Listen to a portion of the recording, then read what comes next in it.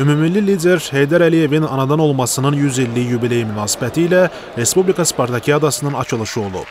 Azərbaycan Həmkarlar İttifaqları Konfederasiyasının təşkilatçılığı ilə keçirilən turnirdə dövlət idarələri ilə yanaşı müxtəlif müəssisə və təşkilatların komandaları iştirak edir.